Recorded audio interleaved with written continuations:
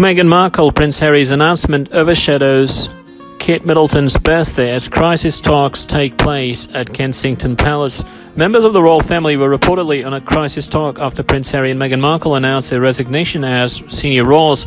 In celebration of Kate Middleton's 30th birthday at Kensington Palace, there seemed to be a discussion over the Sussexes' plan overshadowing the Duchess of Cambridge's special day. The feature Queen consort was spotted arriving at Kensington Palace along with other members of the royal family like Princess Eugenie.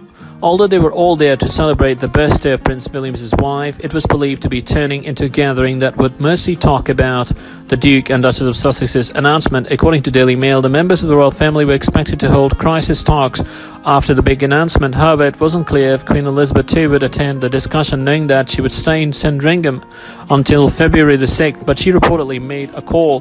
However, there were rumors that the monarch was dismayed by Prince Harry and Meghan Markle's statement. Prince William and Prince Charles, on the other hand, were allegedly incandescent with rage for learning about the Sussexes plan only 10 minutes before the lengthy Instagram post was published. Also, Meghan Markle and Prince Harry reportedly snubbed Queen Elizabeth's advice to tell her heir Prince Charles about their plans before they proceeded and talked to her.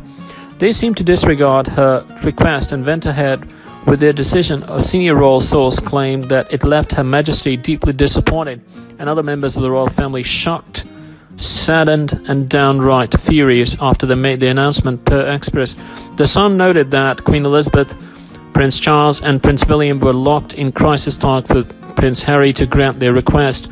Their teams reportedly working to give Meghan Markle and her husband the separation from royal family that they wanted as soon as possible.